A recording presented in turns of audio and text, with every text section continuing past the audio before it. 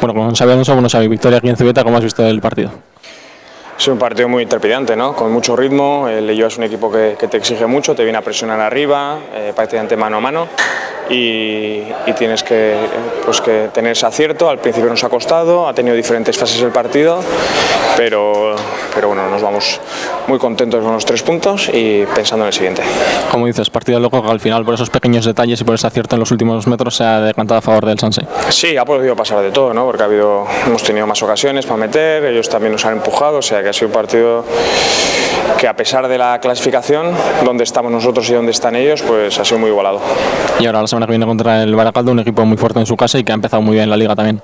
Sí, tienen un gran equipo, juegan muy bien, quieren jugar, yo creo que este año se ve que con el nuevo entrenador están eh, en una buena dinámica y nos van a exigir mucho, pero bueno, cada partido es, es una historia diferente, o sea, hay que ir poco a poco, los chavales están compitiendo muy bien, hoy sabíamos que nos tocaba remontar y lo hemos hecho, o sea, que cada, de cada partido se, se sacan conclusiones y que nos sirven para el futuro.